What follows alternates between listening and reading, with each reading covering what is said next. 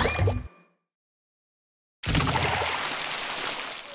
you ever considered making a guide on analyzing gameplay? So, a lot of people ask me for this sort of thing, and the problem with that is that analysis is fundamentally based on game knowledge. Like, it's the, the the most of the guide of particularly analyzing the game is just like knowing what to look for. It's knowing what actually wins games. It's having thought about it a lot. Um, my analysis is based on having been a competitive player already, and then going back and looking at what kinds of mistakes players were making at lower levels of play. At like, you know, I in Splatoon 2, I worked my way up from from C rank on a fresh account, and recorded all the gameplay and looked at like what is happening that I would consider a mistake, and how do I want to art articulate that. And that's kind of how I developed my knowledge that I base my coaching on. Um, so it takes like that sort of learning of the game, that many hours and that much study to be as effective a coach you can be. There are some things that go beyond just game knowledge because I'm not the most knowledgeable analyst or coach or anything like that. Um, in terms of top level gameplay, what's really important is knowing like the majority of the people who come to you, what mistakes are they going to make? And those are not going to be like top level players that are coming to you. Once someone's a top level player, they're coaching themselves. Like they're analyzing for themselves. They're go- maybe going to like a top level analyst like FLC occasionally. There are some coaches who are caught up enough with the game that they can talk about that at a top level because they're also playing top level scrims alongside them. But for the most part, like the people who are going to come to you for coaching, the, the wider audience of people who actually need the help, are more in that like low ink to maybe still climbing up to X rank sort of level. And so it's finding the the errors that those players make that's really going to make you the best coach possible. And that's what I have the most knowledge of. Um, so hopefully that helped at least somewhat, but it's really something that's hard to just teach. I can't just make a video and explain like here are the things that you want to be looking for and now you're a good coach because I was a teacher and my knowledge and skill that I developed from going to school for teaching and then professionally teaching for three years has all built into this. Not to mention the tutoring that I was doing in order to help practice for becoming a teacher, um, the teaching that I was doing at a, a tutoring center, but also the tutoring that I was doing at college for writing.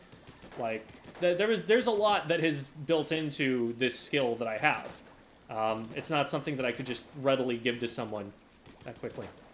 Pedagogy be like, exactly, right? Like, pedagogy is not a matter of. uh, Pedagogy is the study of teaching, for those who don't know.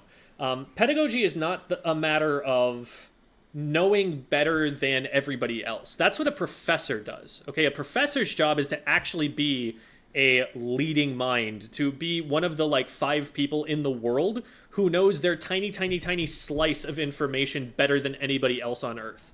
That's what a professor's for. I, in my position in the Splatoon community, am not a professor. I am a teacher. A teacher's job is to know what the friggin' ninth graders are going to screw up on their quizzes. Okay, that's a very different skill set.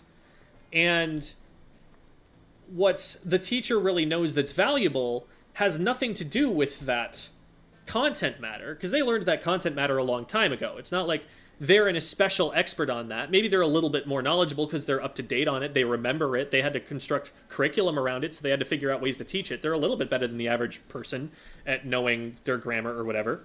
But like you compare them to a professional writer, let's say, and an English teacher is probably actually a little bit worse because they're gonna they're not gonna be able to practice quite as much. Um, but what an English teacher is really good at is knowing what the ninth graders aren't going to know and communicating the information in a way that will get them from not knowing to knowing as fast as possible. They know what quiz questions their their 180 students got wrong last year. And that knowledge, which is really, really crucial to teaching the next group of ninth graders, is something that a professional writer does not know or a professor does not know. Um, a lot of the time, you get really far up in your field and you forget what things you screwed up and when. You forget like what the common errors are going to be.